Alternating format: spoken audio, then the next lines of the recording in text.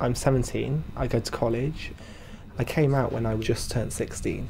Our ITV Fixers project is basically to deliver a lesson in Swindon schools about homophobia and homosexuality. ITV Fixers um, filmed the DVD for us. If, if they hadn't been involved, we would never have got the DVD for the, for, the um, lesson plan. So the film was kind of a visualisation of actually the bullying that's happening within Swindon schools. It was written by young people in Swindon, acted by young people in Swindon. It's based on their personal experiences, so it's very current, very up to date. Everyone can say bullying has no place in our schools. Regardless of what the content of the insult is, bullying is not appropriate. It's been really good to, to be part of this ITV Fixers project and to be part of Pride Youth at this exciting time where we're actually making some change and doing some good for the community really. I'm Dylan Spicer, and our fix is to combat loneliness and isolation by making a short film about it. We want to get students, especially now, discussing issues of loneliness, and hopefully, we're going to spur that on by screening it to students in unions and things like that to get people discussing this.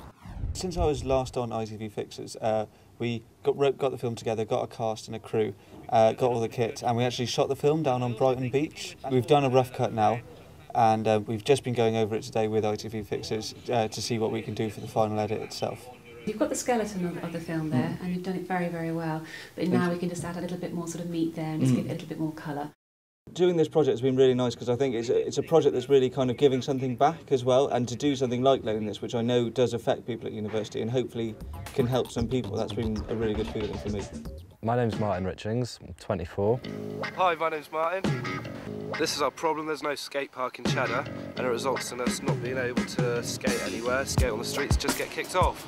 Cheddar Parish Council, they managed to make sure that we got uh, planning approval, which means we can, we can now actually build the skate park. That's the That's the, site. Yes, that's the, the site there, the proposed site. Since the first broadcast, we've done a skateboard event, a BMX event. With ITV Fixers helping with the promotion and everything, I think it helped quite a lot because obviously everyone wants wants a bit of TV.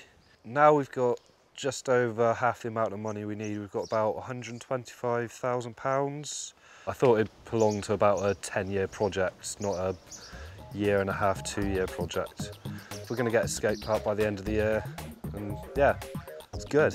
I like it.